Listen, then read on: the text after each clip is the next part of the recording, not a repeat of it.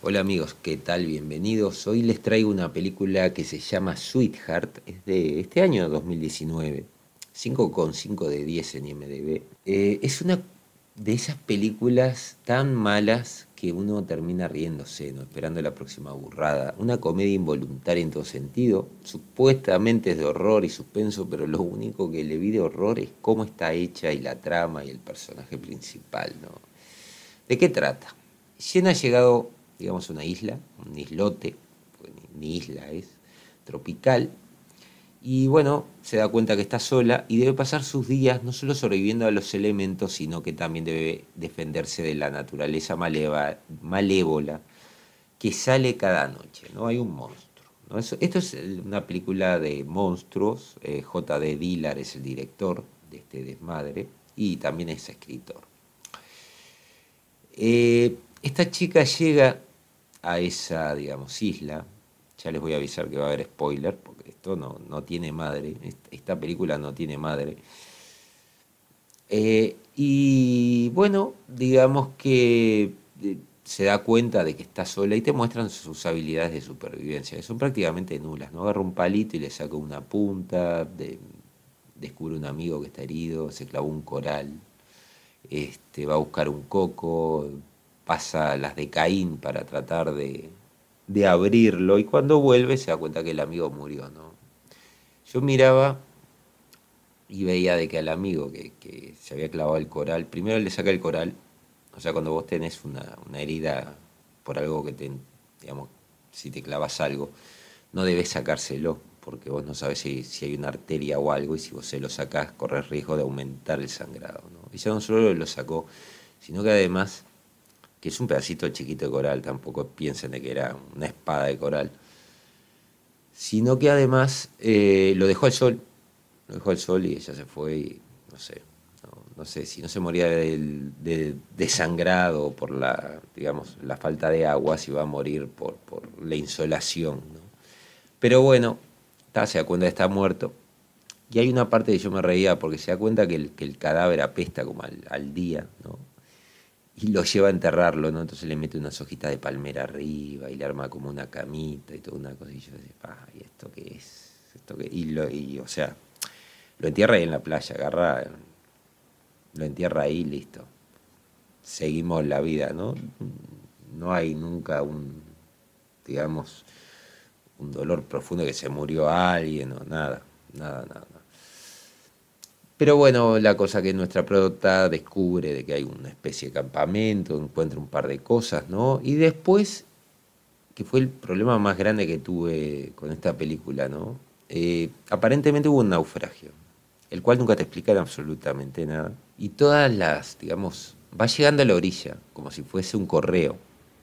Todo lo que la protagonista necesita para sobrevivir, ¿no? Entre ellos unas alpargatas Nike, un vestido, con unas calzas y demás de última moda, una valija. Eh, los intentos de supervivencia de la protagonista son ridículos. ¿no? Quiere hacer con la valija y dos eh, flotadores un barco, cosa que ya ves que no. Y bueno, y estás esperando a ver qué va a pasar. Porque decís, algo tiene que pasar, ¿no? Aparte, digo, esto es una película de Blumhouse sabes de que pueden sugerir, pero... Bueno, por allá aparece el, hombre peso, el hombre percebe, no sé, es un monstruo que sale del agua de noche a cazar, ¿no? Se come primero al, muerto, ¿no? Que estaba enterrado y después viene a matar a nuestra protagonista. Y tiene la idea de esconderse adentro de un tronco podrido. Es tan patético el, hombre percebe este, que no puede romper el, el tronco. El tronco está repodrido repodrido.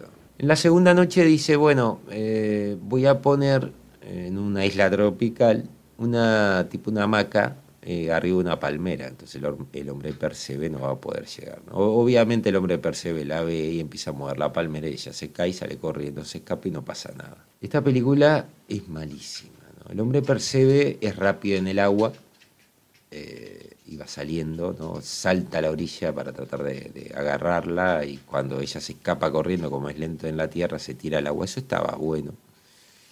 Descubrimos que vive como cantaba el cangrejo Sebastián bajo el mar en una cueva. Y bueno, en un momento llegan dos supervivientes más, ¿no? Y bueno, ella se quiere escapar de la isla, les dice, vámonos, vámonos, vámonos, que, está el hombre Percebe, nos va a comer a todos, que ustedes lo entienden, bueno, decide agarrar la balsa e irse y pasa enfrente de ellos y bueno, no sé, pensó que no la iban a ver y le, la noquean, la noquean, le pegan con un, con un remo, la noquean, la atan y bueno, obviamente el hombre Percebe se come estos dos. Te ponen ahí un misterio de que hay sangre adentro, digamos, del, de ese bote, pero nunca te explican qué pasó, ¿no? Porque aparece otro cadáver que ella encuentra pero bueno, tenés que suponer de que estos tipos la mataron, lo mataron, pero en realidad eh, nunca te lo cuentan y cuando te lo podrían haber contado los tipos están muertos, los únicos que saben qué pasó, entonces